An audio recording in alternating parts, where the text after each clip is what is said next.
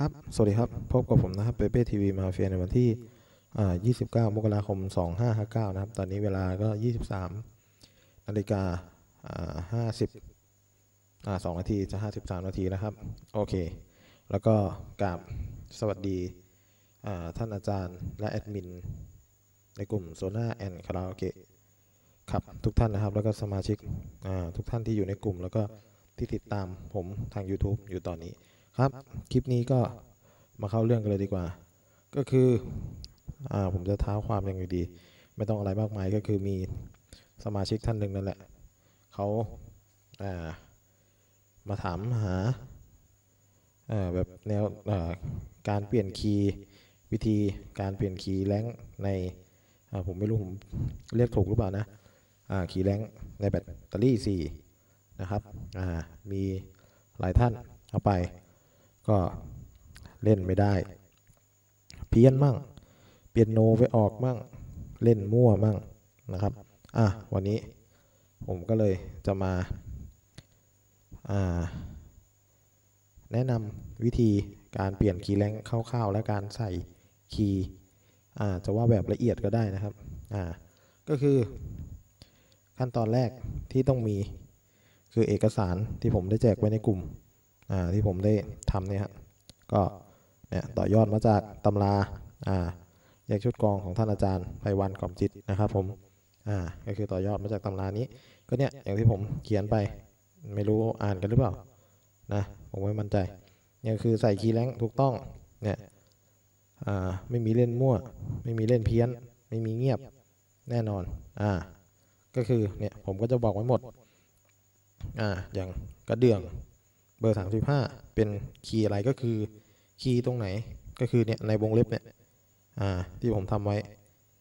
อ่าในวงเล็บอ่าอย่างเป็น snareสแนร์ก็มันอยู่ที่ไฟล์เว็บเรานะครับว่าเราจะเอา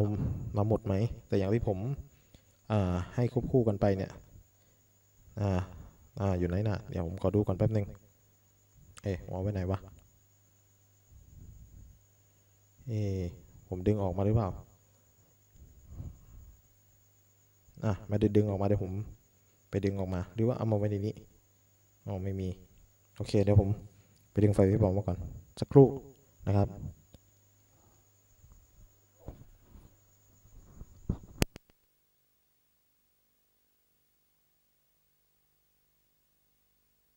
อ่าหาก่อนโอเคอ่อตัวนี้ อ่าอันนี้คือที่ผมทำแล้วเอาออกมาหมดเลยอ่าลากออกมาเลยอ่าตัวนี้นี่คือตัวที่ผมแจกไปแล้วนั่นในกลุ่มอ่า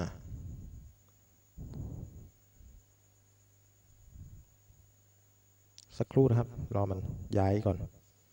โอเค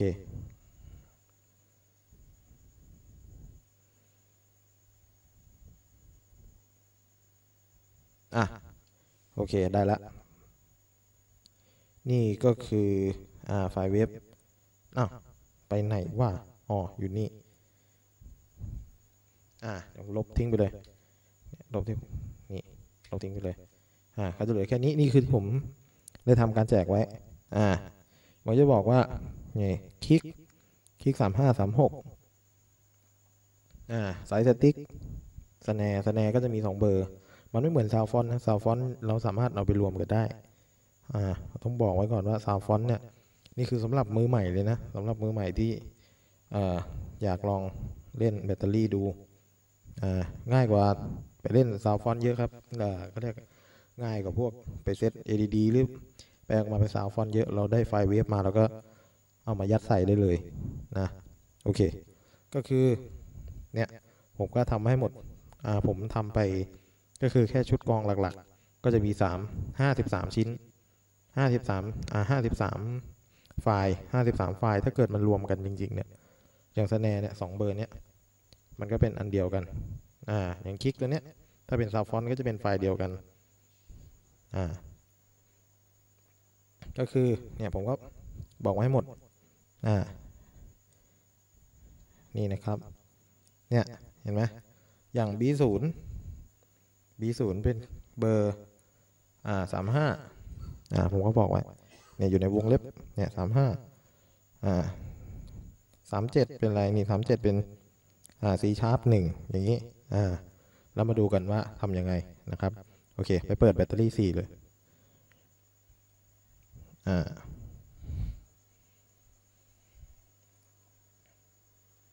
สักครู่นะครับ คอมค่อนข้างอ่า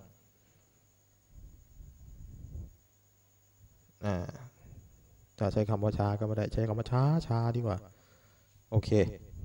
นะครับผม มาแล้ว ตอนนี้เนี่ยก็คือ มันจะมีคลิปของท่านอาจารย์ไพวันนะอีกคลิปหนึ่งที่เขาสองคลิปสิเออสร้างโปรเจกต์แบตเตอรี่เลยตั้งแต่เริ่มต้นเลย ก็มีนะ คลิปนี้ผมก็อะถือว่าเป็นคลิปทำเสริมขึ้นมาอีกคลิปหนึ่งแล้วกัน อ่าแต่คลิปนี้นี่จะเป็นการเปลี่ยน key range โดยเฉพาะ ส่วนเรื่องการเซตหน้าแบตเตอรี่ ให้ไปดูคลิปของท่านอาจารย์ไพวันแล้วกัน เพราะท่านทำไว้สองคลิป อ่า โอเค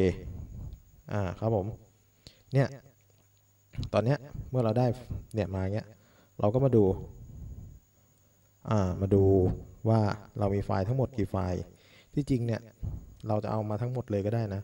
แต่ที่ผมทำไปเนี่ยผมเอามาแค่แบบ อ่า การเริ่มต้นของการเล่นแบตเตอรี่ ก็คือเอา 35 พอ ก็เป็นแค่ชุดกอง อ่า ชุดกองสิ้นสุดมีอะไรบ้าง อ่า อยู่ที่ตรงไหน ผมก็อ่านภาษาอังกฤษไม่ออกเหมือนกัน อ่า เนี่ยเริ่มต้นมาตั้งแต่สุดที่อะไรอะไร อ่านั่นจะเป็นน่าจะเป็น อ่า ฉาบเปิดฉาบปิดนะ อันนี้จะเป็นน่าอันนี้จะเป็นชิกเปิดชิงปิด เนี่ยสองตัวนี้ อ่า โอเค เนี่ย ผมก็จะเอามาแค่นี้ อ่าแค่นี้เราก็มาดูว่าเนี่ยมันบอกว่าห้าเอ่อสามสิบห้าไฟล์สามสิบห้าไฟล์สามสิบห้าไฟล์แล้วก็มานับตรงนี้ เนี่ยมันถึงไหม อันนี้สิบสองคูณอ่าสี่แถวมั้งถ้าผมจำไม่ผิดเนาะสิบสองก็อันนี้ก็น่าจะพอแล้วมั้งหนึ่งสองสามสี่ห้าหกเจ็ดแปดเก้าสิบสิบเอ็ดสิบสองสิบสาม สิบสี่สิบห้าสิบหกสิบเจ็ดสิบแปดสิบเก้า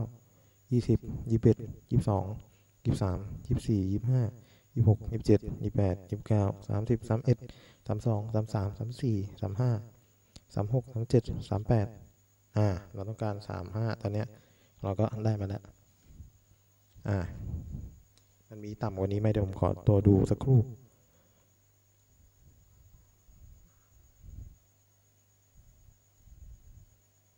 สองคูณสี่เหรอเก้าคูณหกได้ไหม ไม่มั่นใจ อะ เอาเป็นสองคูณสี่เนี่ย ที่เขาเซตมาให้เราเลยอ่าสิบสองคูณสี่เนี่ย ที่เขาเซตมาให้ โอเค ก็เนี่ยเมื่อได้หน้าตาแบตเตอรี่มา ก็ที่รู้ๆกันอยู่แล้ว ก็คือเนี่ยลากไปใส่ได้เลย จะลากสลับยังไงก็ได้ จะเอาหนึ่งไปใส่ตรงสี่ตรงอะไรก็ได้ ไม่จำเป็นหรอกแต่ที่ผมเรียงมาอย่างเงี้ย ใส่ตัวเลขเรียงมาเนี่ย อ่า เพื่อให้ดูง่าย ไฟล์เว็บเราก็ให้จำไว้ว่าไฟล์เว็บของเราเนี่ยเป็นอะไร ไฟล์เว็บเราเป็นคลิกเบอร์ไหน แล้วเราก็เปิดตำราขึ้นมาดู อ่า เนี่ย อย่างสามสิบห้ามันเป็น B ศูนย์เราก็มาใส่ B ศูนย์อย่างเงี้ย อ่าผมลากมาก่อน อ่าผมลากมาเลย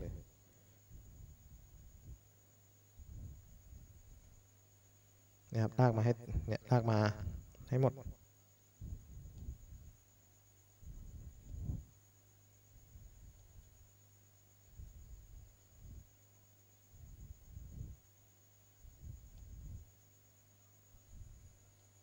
เนี่ยลากมา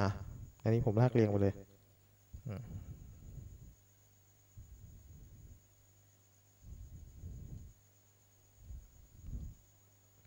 ถ้ามือใหม่ที่อยากจะมาเล่นแบตเตอรี่นะครับ รับรอง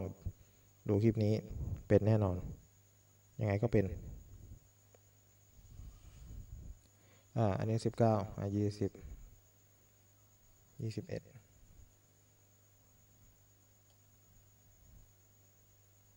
เนี่ยลากมาให้ครบเนี่ยเราทำไฟล์เว็บอ่าพวกเครื่องดนตรีที่เกี่ยวกับชุดกรองไว้เท่าไหร่อะเราก็ลากมาใส่ให้ครบ อันนี้ยังไม่มา อันนี้เท่าไหร่ยี่ยี่สี่อ่ายี่ห้ายังไม่มาอ่ายี่ห้าอะเมาส์ผมก็ไม่ค่อยดียี่ห้ายี่หก ยี่สิบหกยี่สิบเจ็ดอะไปเปิดอีกเห็นไหมเมาส์ยี่สิบแปดยี่สิบเก้าเนี่ยจะเสร็จแล้วสามสิบสามเอ็ดสามสอง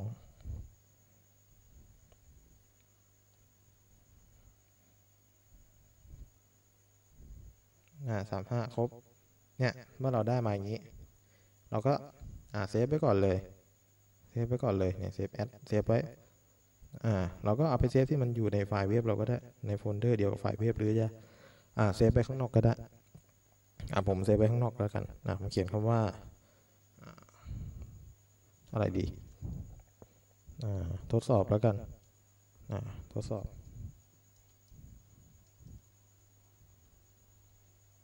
อ่าผมเขียนคำว่าทดสอบเสร็จปุ๊บก็โหลดสักแป๊บหนึ่ง อ่า แล้วก็ได้ไฟล์ที่เซฟมาแล้ว นี่ อ่า คราวนี้ตำราเราก็จะสำคัญละ เอกสารพวกนี้ก็จะสำคัญละที่ผมแจกไว้ อ่า คราวนี้เราก็ลองมาลองกดดูก่อนว่ามีเสียงเปล่า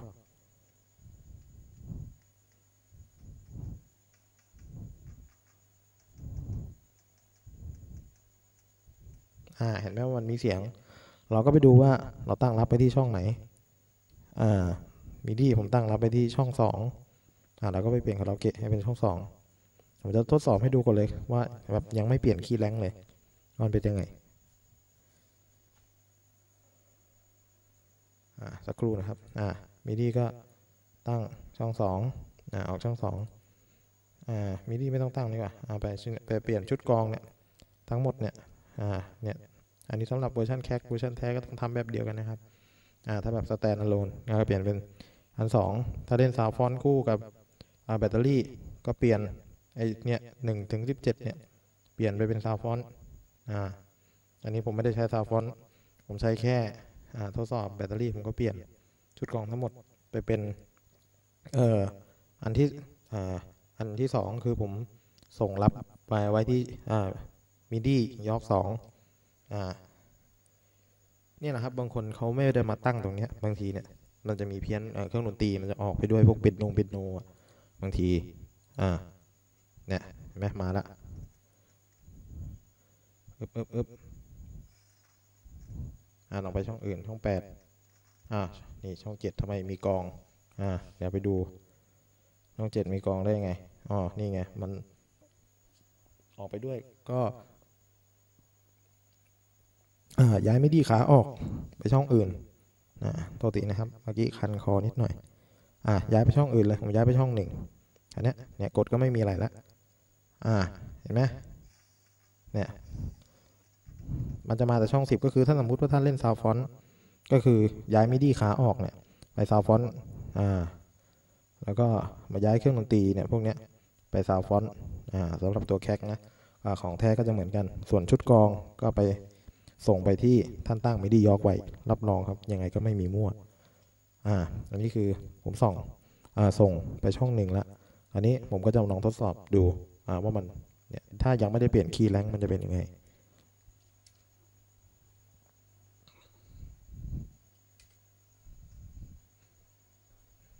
อ่า เห็นไหม อะไรหาย เห็นไหมเอาโห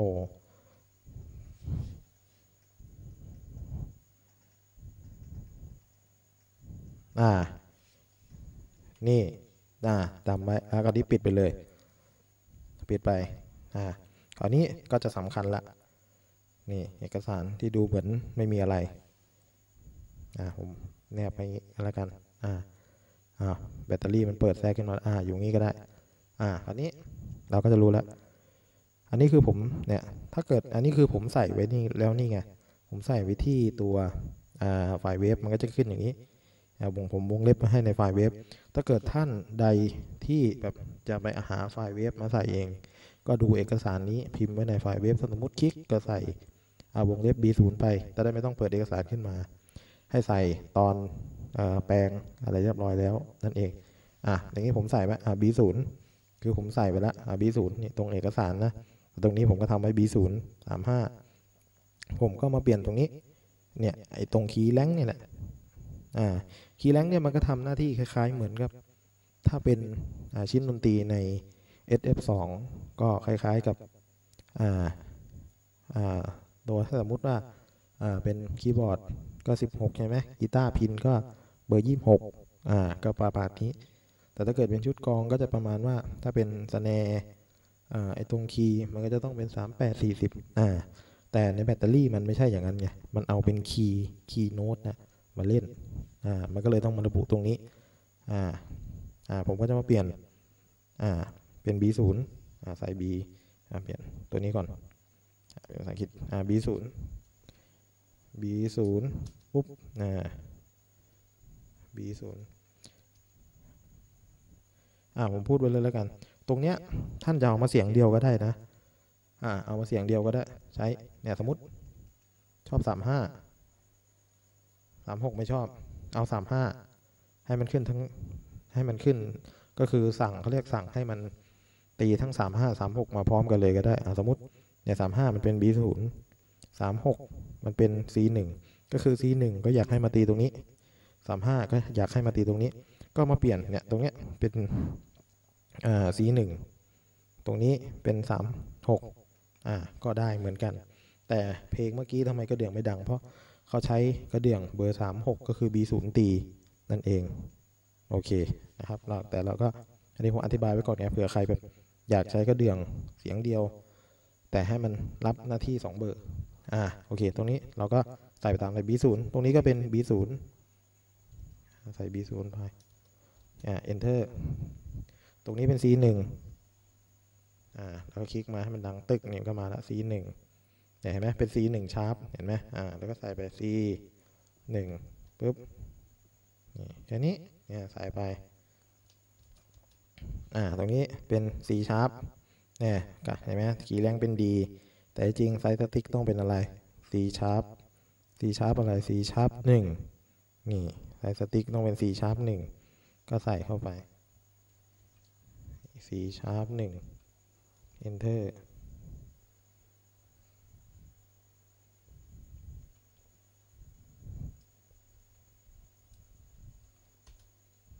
ใส่เข้าไปให้ครบอ่าอย่าง 38 38 เป็น D หนึ่งเห็นไหม38ต้องเป็นนี่ D หนึ่งแต่ตรงนี้เป็นอะไร D ชาร์ปหนึ่งนั่นเราก็ใส่ไป D หนึ่งเนี่ย double click เนี่ยให้มันเป็นแบบอ่าเห็นไหมจะเป็นจะเห็นมีสีเทาๆ แล้วก็มีเคอร์เซอร์กระพริบอยู่ข้างหน้าพอคลิกเสร็จปุ๊บเราก็เปลี่ยนเลยอ่าอ่าเป็น S พิมพ์ผิด D หนึ่งเสร็จปุ๊บเราก็ enter อ่าตรงนี้ก็เป็น E สี่อ่าอันนี้ตรงอ่าอันนี้ตรงแล้วใช่ไหม E หนึ่งตัวนี้มันตรงอ่ามันตรงเราก็ไม่ต้องตั้งอ่าถ้ามันตรงเราไม่ต้องตั้ง ไม่ต้องไปแตะมัน เรามาดูที่อันไหนที่มันไม่ตรงเนี่ยอย่างเงี้ยมันเป็น D อ่า F หนึ่งเราก็เปลี่ยน D D F ดีอะไรอ๋อ D D sharp หนึ่ง ษทีนะครับผิดอ่า D sharp หนึ่ง D sharp D sharp หนึ่ง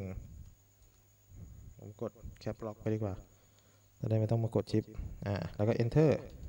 แล้วก็มาตรงนี้เป็น F หนึ่ง F หนึ่งนี่เป็น F sharp อ่าแล้วก็ใส่ F หนึ่งไป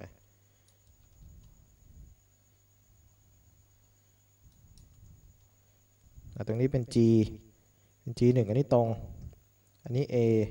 อันนี้ A อันนี้ต้องเป็น A หนึ่งอันนี้จะอ่าเป็น G sharp หนึ่งเราก็เปลี่ยน ที่แรกผมจะทำให้ดูเป็นตัวอย่างอะเนี่ยเห็นไหมปัญหาเนี่ยเราใส่ไปแล้ว A หนึ่ง enter ทำไมไม่เปลี่ยน ผมก็ไม่รู้เหมือนกันว่าทำไมมันไม่เปลี่ยน แต่ไม่ต้องกลัวว่าเปลี่ยนไม่ได้ ก็สลับมาเปลี่ยนจากอ่าที่แรกเราเปลี่ยนฝั่งนี้ก่อนใช่ไหมนะตรงนี้มันเปลี่ยนครั้นี้เปลี่ยนไม่ได้ เราก็สลับมาเปลี่ยนข้างหลังอ่า A หนึ่ง enter หน้าเห็นไหมนี่แค่นี้ปุ๊บอ่าตรงนี้เป็น B หนึ่ง B หนึ่ง B หนึ่งเนี่ยตรงนี้อ่าเป็นอะไรเนี่ยเบอร์สิบเบอร์สิบนี่มันเบอร์อ่าสี่สิบเจ็ดสี่สิบเจ็ดเรามาดูตรงนี้ที่เป็นอะไร เป็นlow mid tom ต้องเป็น B หนึ่งอันนี้มาอะไรอ่าเป็น A หนึ่งมันจะไม่มั่วไปได้ยังไงเห็นไหมครับอ่า อ่าคราวนี้อ่าเนี่ยตัวหน้าไม่ได้เราก็มาใส่ตัวหลังอ่าใส่ตัวหลังก่อนก็ใส่ตัวหน้า อย่างที่อาจารย์ไพวันบอกนะครับคอมมันไม่เก่งเกินคนไปได้หรอกอ่าสี่สิบแปดต้องเป็น C สอง C สอง C สองนะครับอ่า C สองอันนี้ D สองอ่าเปลี่ยนจากข้างหลังก่อนสลับ อ่า D สองอ่าคราวนี้เห็นไหมเปลี่ยนข้างหลังแล้วไม่ได้ ก็สลับกลับมาที่เดิม เนี่ยมันจะอยู่อย่างเงี้ยอ่า D สองใช่ไหมอ่า D สอง D สองเดี๋ยวสักครู่ D สอง enter ไม่ได้อะ D สองอ่าเห็นไหมฝั่งไหนไม่ได้ก็สลับไปสลับมา เดี๋ยวมันได้เองอ่า D สองตรงนี้เป็น F sharp หนึ่ง อ่า F sharp หนึ่ง F sharp เอ่อ F sharp F sharp หนึ่งอะ เป็น F สามนะใส่ผิดอีก เอ๊ะอ๋อรู้ว่าชาร์ปผมต้องกดชิปไว้อย่างเดียวเลยเหรอ โอ้โห กดเคอร์เซอร์ไม่ขึ้นต้องใช้ชิปช่วยอยู่ดี F สาม F อ่า ตรงนี้เปลี่ยนไม่ได้ แล้วก็มาเปลี่ยนข้างหลัง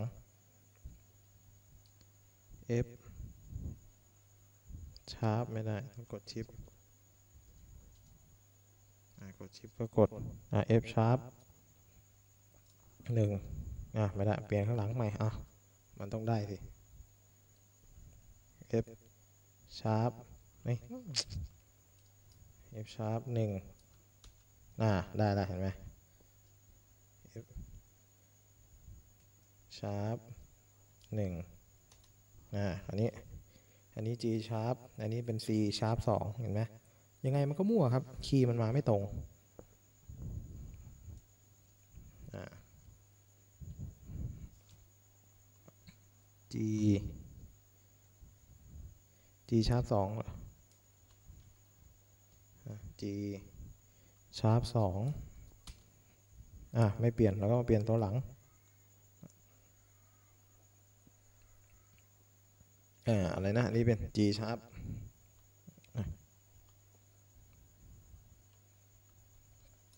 G ชาร์ปอะไร G ชาร์ปหนึ่งอะ ไม่ขึ้น ไหนลองตัวนี้ใหม่ G ชาร์ปหนึ่งหนึ่งอ่า ได้แล้วเนี่ยครับ G ชาร์ปหนึ่ง A ชาร์ป บางทีเนี่ยปัญหาเนี่ยมันก็มีตั้งแต่ตอนที่ผมทำคลิปนะ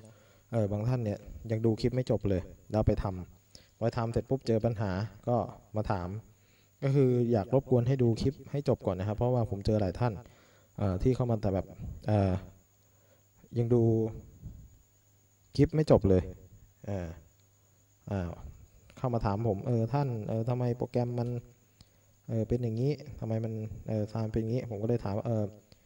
ดูคลิปจบหรือยังครับ อ๋อ ผมยังดูไม่จบเลยครับ เดี๋ยวจะต้องกลับไปศึกษาใหม่นะผมก็นะ ก็เลย คือคำยินดีให้คำปรึกษาครับ แต่ขอให้มันไม่ได้จริง ๆ ก่อนนะเออขอให้มันไม่ได้จริง ๆ ก่อน ก็คือบางทีอะอ่ามันมีเกิดตั้งแต่ตอนที่ผมทำคลิปอยู่แล้วพวกปัญหา อ่า นี่เป็นไร C sharp สองนี่มันก็จะขึ้นตรงนี้เหมือนกันที่เราใส่ชื่อไว้ C sharp สองเราใส่ไป C sharp สอง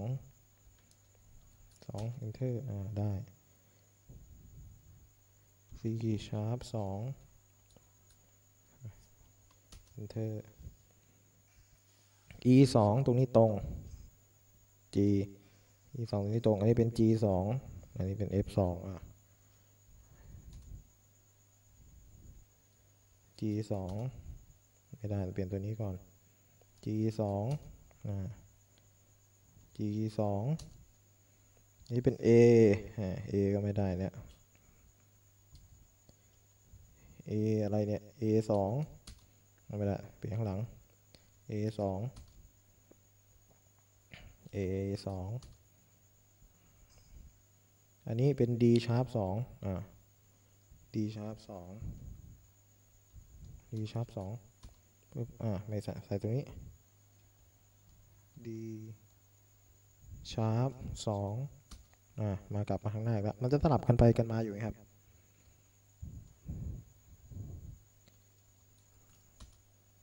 อ่าตอนนี้เป็น f 2 f 2ไม่ตรงอ่า f 2ไม่ตรงเราก็ใส่ไป f 2 f 2 ใส่ทั้งข้างหน้าทั้งหลังนะอ่าตรงนี้เป็น b 2ตรงนี้เป็น a 1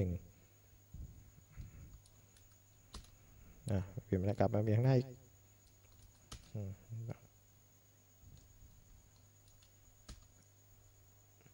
วันนี้รู้สึกปวดคอจังเลยนะครับผม คันคอมาตั้งแต่เมื่อวานแล้วรู้สึกเจ็บคอด้วยเอฟชาร์ปสองก็ใส่ไปเอฟ คลิกก่อนนี่แม่ตรงเนี้ยมันเป็นอ่าเห็นไหม F sharp เนี่อันนี้อะไรทัม a รีนนะอ่า t ทม a รีนเป็น F อ่า F sharp สองอ่าตรงนี้เป็นอะไร A sharp สองไม่เพี้ยนให้มันรู้ไปสิ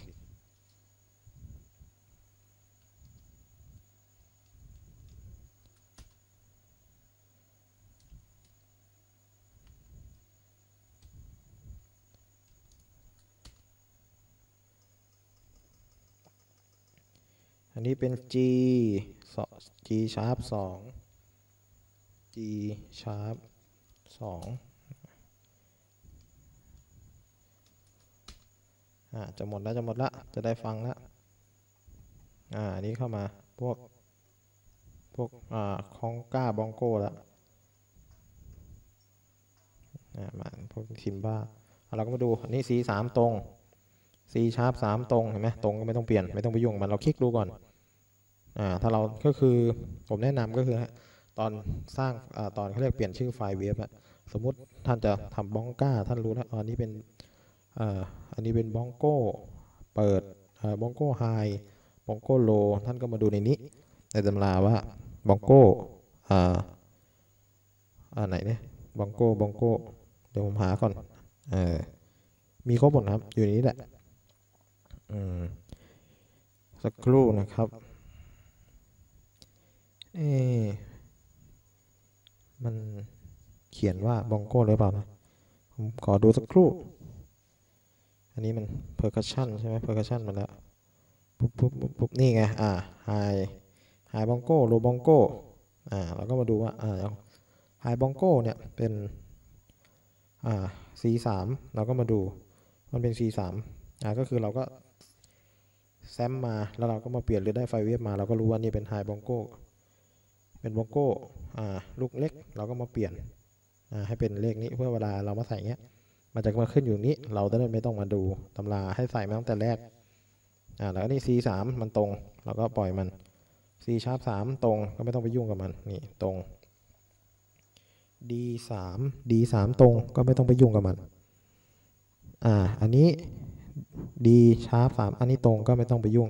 กับเขา อันนี้ E สามต่อตรงไม่ต้องไปยุ่ง ถ้าไม่ตรงให้มาเปลี่ยน F สามยังตรงอยู่ F sharp สามก็ยังตรง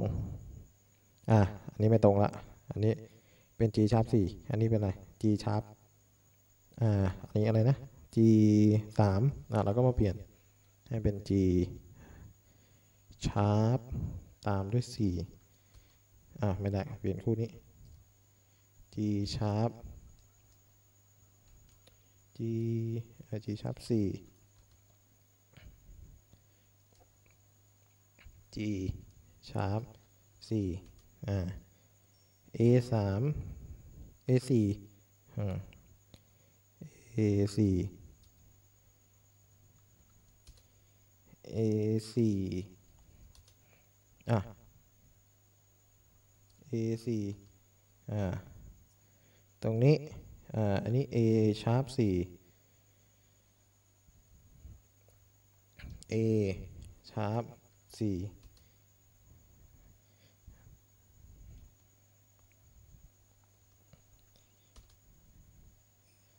อ่านี่เป็น B สี่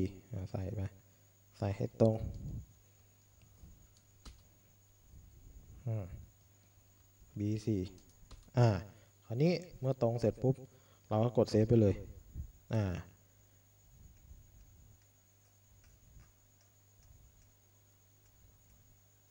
อ่าคราวนี้ผมก็จะพาไปลองเปิดดูกันใหม่ อ่าว่ามันยังเพี้ยนอยู่ไหม หรือมันไม่เพี้ยนไปดูกันอ่าผมส่งช่องกองช่องกองคือเหมือนเดิม คือตัวที่แบตเตอรี่มันรับช่องสองผมก็ส่งไปที่มิดีอ่า ออฟทูนมิดีสองมิดียกสองอ่าผมตั้งรับไปที่ช่องนั้น ผมก็ส่งไปเครื่องดนตรีอ่ามาตั้งในนี้ด้วยก็ได้ หรือจะอ่าเซตเป็นแบบนี้ก็ได้ ผมอ่าไปเปลี่ยนตรงนี้เอา ไปเปลี่ยนตรง MIDI ขาออกว่าจะให้มันเล่นมิดอ่า soundfont ไหมอะไรมานี้อันนี้ผมไม่ได้เล่น soundfont ก็เลยเป็นช่องหนึ่งเพื่อให้มันหนีอ่าสักครู่นะครับขอทานน้ำสักครู่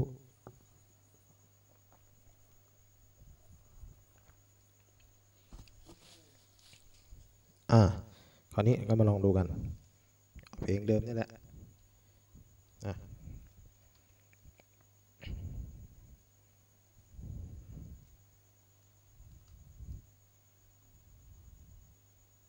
อ่าครับผมอะอ่าเห็นไหมแต่เรื่องอาการหน่วงนี้ไม่เกี่ยวกับตัวโปรเจกต์นะเกี่ยวกับคอมผมนะ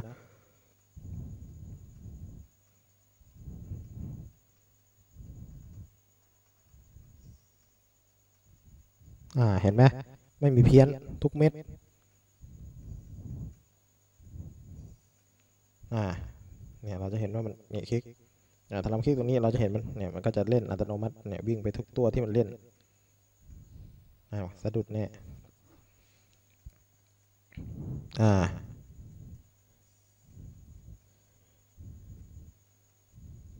แต่ดูท่าทางแล้วถ้าเกิดใครที่จะเล่นแบตเตอรี่สี่นี่คือคอมก็น่าจะ ต้องอระดับคอ i3 ขึ้นแน่นอนนะ ดูท่าทางแล้ว ถ้าเล่นแบบสแตนอะโลนนะนะดูท่าทางแล้วกินสเปคเหมือนกัน แต่ในโปรเจกต์นี่ผมยังไม่เคยลองสักทีนะครับเลยบอกไม่ได้ อันนี้ก็เบาเร่งเสียง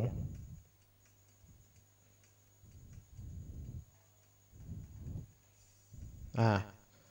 มัน อ่า อันนี้มันเล่นได้จริงละ แล้วผมจะพาไปดูว่าถ้าเราไม่ได้เปลี่ยนตัวนั้นมันจะเป็นไง ถ้าสมมติอะผมเนี่ยไม่ได้แยกกองไว้อ่าผมเอาเป็นเอาตรงเนี้ยเนี่ยเซตอย่างนี้เลยเฉยๆเนี่ยเหมือนเดิมทุกอย่างเลยแต่แค่เปลี่ยนช่องนี้มาเป็นช่องสองอ่าอ่าเราลองลองดูอ่าตอนนี้มันเป็นช่วงกองยังไม่เท่าไหร่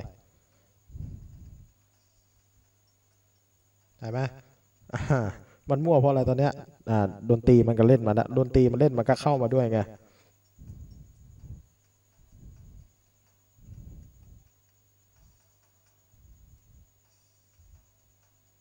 อ่าเนี่ยก็คือถ้าจะเล่นสแตนอะโลนก็ต้องไปแยกอ่าที่ตัวอันนี้ให้ขาด ก็คือแยกไปเลยช่องสองรับอ่าท่านตั้งรับช่องไหน ก็ส่งไปช่องนั้นอ่า อ่าอันนี้ก็คืออ่าแล้วก็ผมก็เปลี่ยนอันนี้หนีไปเลย สมมุติผมจะไปเอาซาวฟอนอ่าอ่าผมหนีไปซาวฟอนไม่รู้ผมมีซาวฟอนหรือเปล่านะไม่ได้ไม่รู้บันทึกไว้หรือเปล่าอ่าบันทึกไว้เปล่าเดี๋ยวดูก่อนอ่าไม่ได้บันทึกไว้นะอ่าลองสั่งเล่นใหม่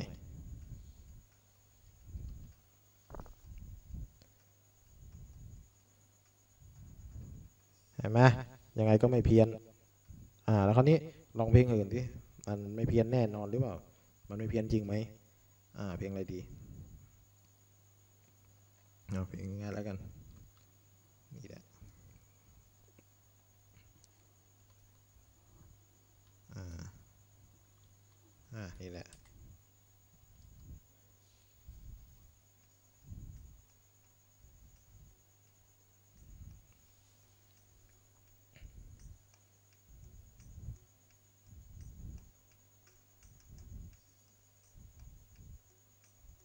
อ่าเราก็รู้แล้วเนี่ยเพลงนี้มันใช้สแนร์สามแปดใช่ไหม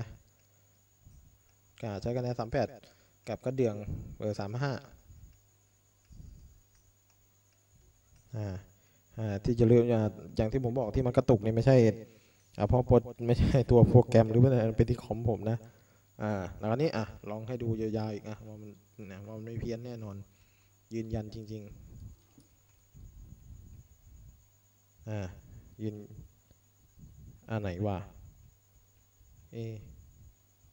เอ๊ะอันไหนเอ่ยเออนี่อะ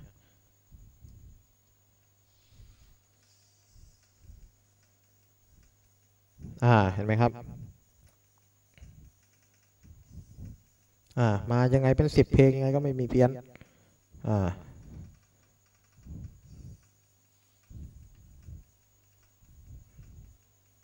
เห็น ไหมเป๊ะ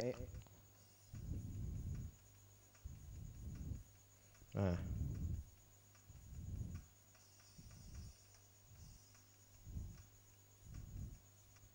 อ่าเห็นไหมครับ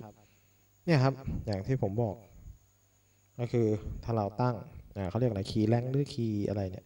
ผมเรียก อ่า key range แล้วกัน อะ ผมไม่รู้เขาเรียกไม่รู้ผมเรียกถูกหรือเปล่านะ อ่า นะครับผม เมื่อเราตั้งตรงนี้ถูก ยังไง ในการเล่นของเรา ก็ไม่มีปัญหาแน่นอนครับผมแน่นอนในการสร้าง project แบตเตอรี่ของเรายังไงก็อย่างที่ผมใส่ไว้ในตรงเนี้ยใส่คีใส่คีแรงถูกต้องไม่มีเล่นมั่ว ไม่มีเล่นเพี้ยน ไม่มีเงียบแน่นอนอ่าก็อย่างตามที่ผมได้บอกไว้ทดสอบ ส่วนเอกสารนี้ผมแจกไว้ใน